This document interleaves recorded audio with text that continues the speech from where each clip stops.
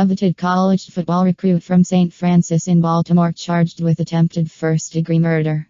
Luke Hill, a former high school football player in Baltimore who had committed to play this year at the University of Oregon, was arrested Tuesday and charged with attempted first degree murder and first degree assault.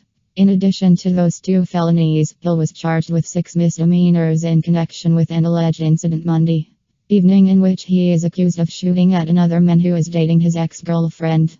A spokesman for the Prince George's County Police Department said that the intended target was not hurt, and this was not a random act. The intended target was reported by ESPN to be Ishmael Leggett, a former classmate of Hill's at St. John's College High who has committed to play basketball at the University of Rhode Island. When reached by phone Wednesday, Leggett told the Washington Post he could not comment. Two other guns were said to have been found at Hill's residence, and the caliber of the gun found in the closet matched the caliber of the casing discovered at the crime scene. Seven casings in all were recovered there, and two shots allegedly struck the target's home.